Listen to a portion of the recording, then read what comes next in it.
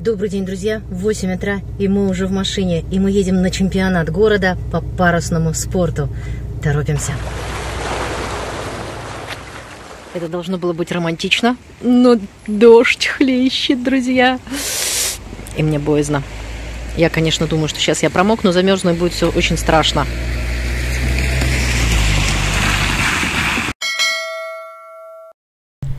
Чуть позже мы узнали, что на этом граффити изображена лодка, на которой наш экипаж во главе с капитаном Михаилом Сентябревым получил в прошлом году чемпионский титул.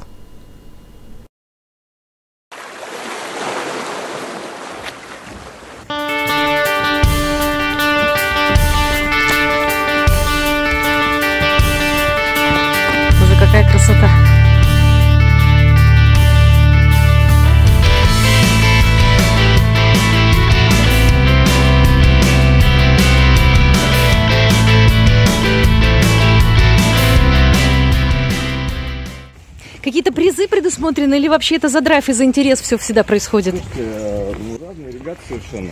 А, Чемпионат города проводится, в принципе, это такое самое официальное у нас соревнование Ага.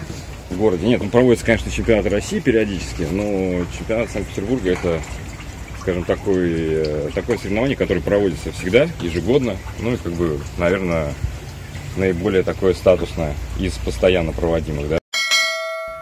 Мне сказали, чтобы я оставила дома макияж, а я, как правильная девочка, оставила дома теплую куртку. Сейчас будем переодеваться, одевать жилеты и что-нибудь не промокающее, потому что хлещет дождь.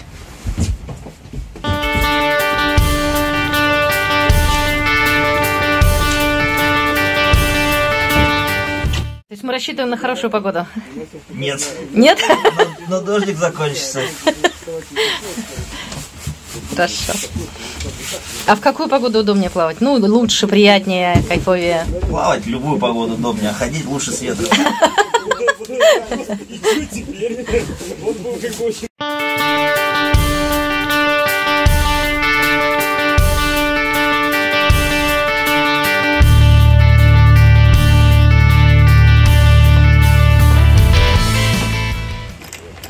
Вот это вот гиг, да? Да. Самое главное, чтобы вот это мне по голове не ударило.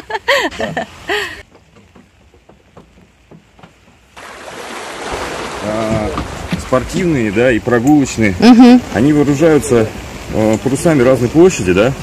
То есть лодки спортивные, они очень энерговооруженные. То есть соотношение площади парусности к размерам лодки, оно как бы, соответственно, очень сильно перекошено в сторону парусов, чтобы лодка могла бы быстро ехать. Но для этого, соответственно, экипаж должен правильно работать с парусами, экипаж должен обязательно откренивать лодку, помогать ей ехать.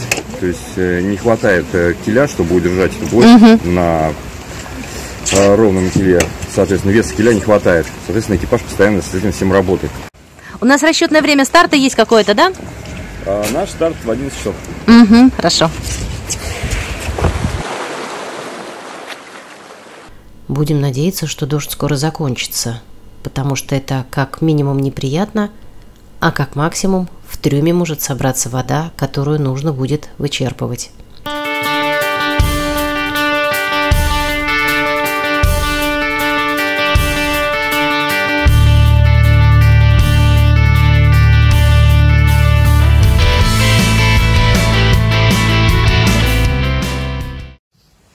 Это, походу, стопор где-то.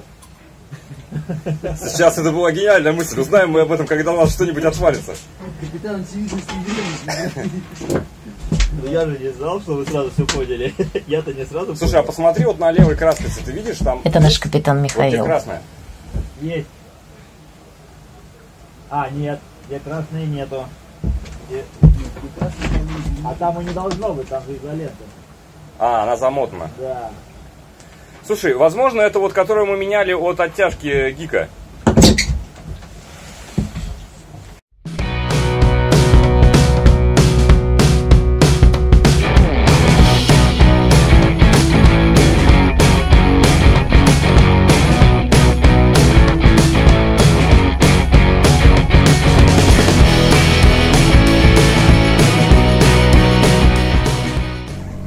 Мы, наконец, отчалили, постепенно набирая скорость.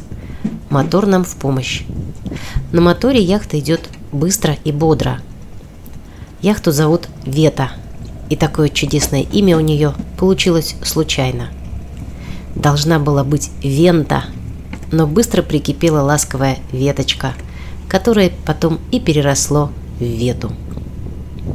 Вета – четвертонник. Четвертонник – это самый многочисленный в России класс крейсерских яхт. И нет, это не те лодки, которые весят четверть тонны, то есть 250 килограмм. По классическому определению к этому классу относятся все яхты, чей гоночный балл по гандикапу составляет 5,31 или 5,65 метра, а длина 7,6-7,8 метра.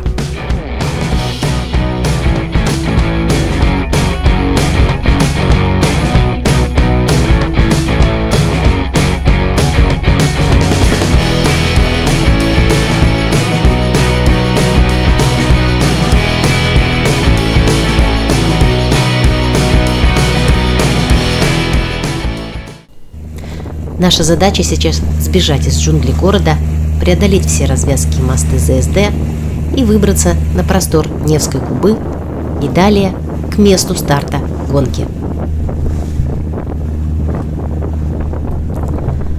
Гонка у нас предстоит по длинному маршруту.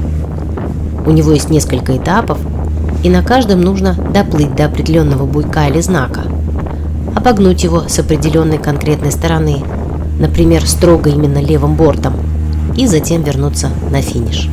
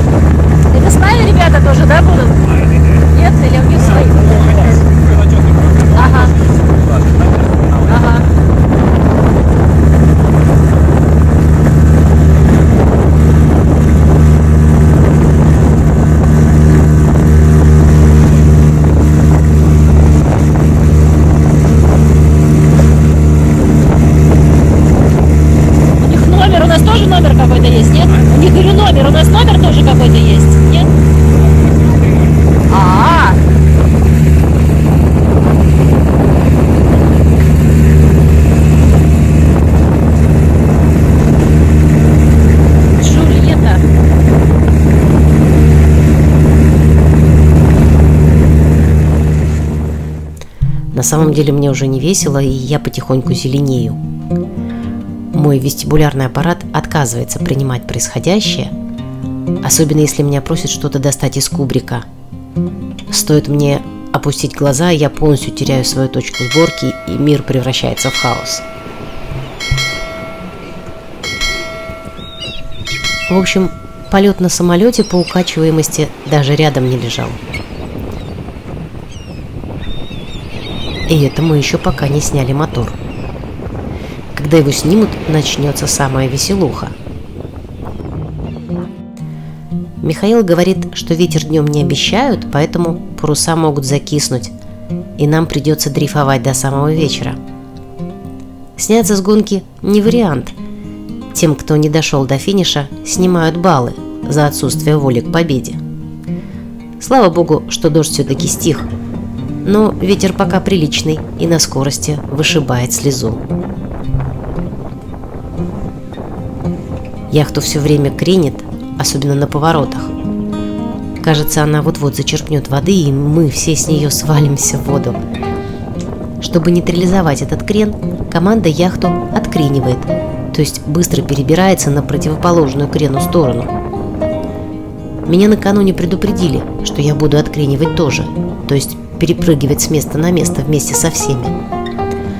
Но мое тело сказало жесткое «нет». И я всю дорогу оставалась пассивным наблюдателем, пытаясь выжить при резких поворотах.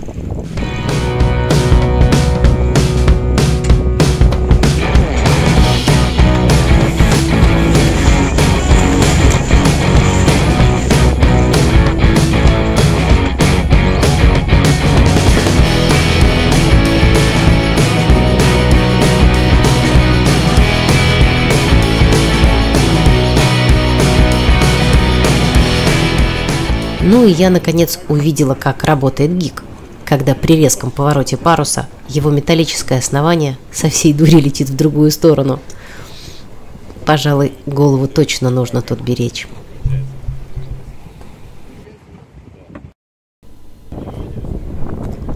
Ну вот мы наконец добрались до места старта и ожидаем, когда нам вывесят оранжевый флаг. Он означает, что до старта осталось 5 минут. Мы слышим команды по рации, по ней же экипажи яхт общаются с судейским судном. Все стараются занять тактически выгодное положение перед стартом и быть ближе к стартовой линии. До старта я еще дожила и полюбовалась на то, как все бодро рванули вперед к победе.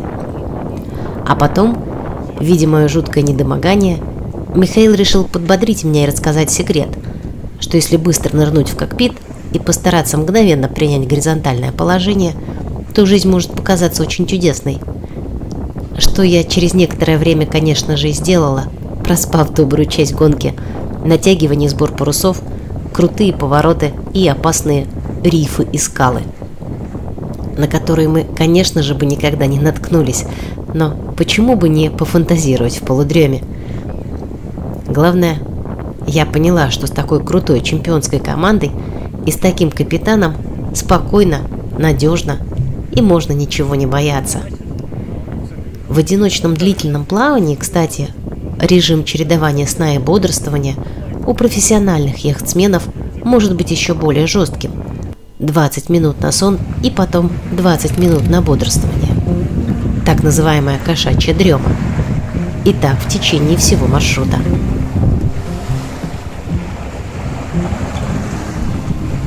Проснулась я в совершенно другом мире. Над моей головой гордо реял красивый синий-желтый парус. Вода была почти спокойной и ярко светило солнце. У четвертонника три паруса – грот, спинакер и стаксель. Миша, как он называется, парус этот? Спинакер. Спинакер? Да. А у этого тоже есть название? Это грот. А-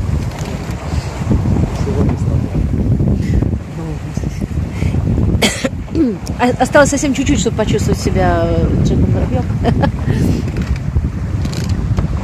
Еще пара таких слов интересных. Будет совсем круто.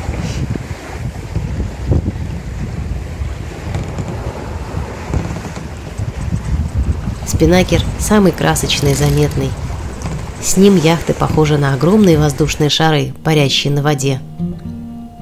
И вот тут, наконец, мои романтичные представления о яхтах хоть немного начали сбываться. Конечно, я не в шезлонге с бокалом вина, но зрелище, которое открывается взгляду, поистине восхитительно и божественно.